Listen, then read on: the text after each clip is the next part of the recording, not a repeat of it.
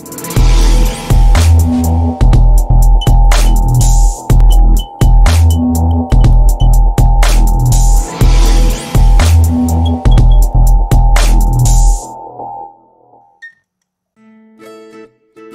in this video we will learn about how do I add purchasable TLDs in WHMCS.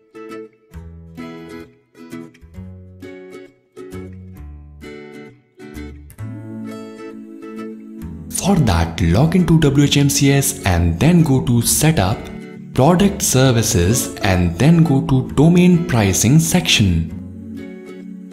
Now here you can add new TLDs. Set the features that you would like to provide along with this TLD.